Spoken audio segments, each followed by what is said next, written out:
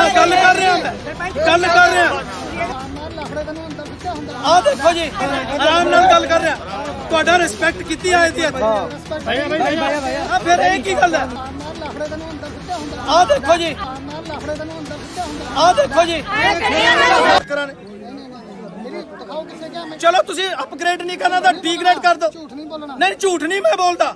ਨਾ ਮੈਂ ਝੂਠ ਬੋਲਿਆ ਕਦੇ ਨਾ ਬੋਲਣਾ। ਨਾ ਮੈਂ ਝੂਠ ਬੋਲਿਆ ਨਾ ਬੋਲਣਾ। ਆ ਗੱਲ ਕਰ ਰਿਹਾ ਮੈਂ। ਗੱਲ ਕਰ ਰਿਹਾ। ਆਰਾਮ ਨਾਲ ਗੱਲ ਕਰ ਰਿਹਾ। ਤੁਹਾਡਾ ਰਿਸਪੈਕਟ ਕੀਤੀ ਆਏ ਦੀ ਇੱਥੇ। ਆ ਫਿਰ ਇਹ ਕੀ ਗੱਲ ਹੈ? ਮਾਰ ਮਾਰ ਲਫੜੇ ਤੈਨੂੰ ਅੰਦਰ ਸਿੱਟਿਆ ਹੁੰਦਾ ਆ ਦੇਖੋ ਜੀ।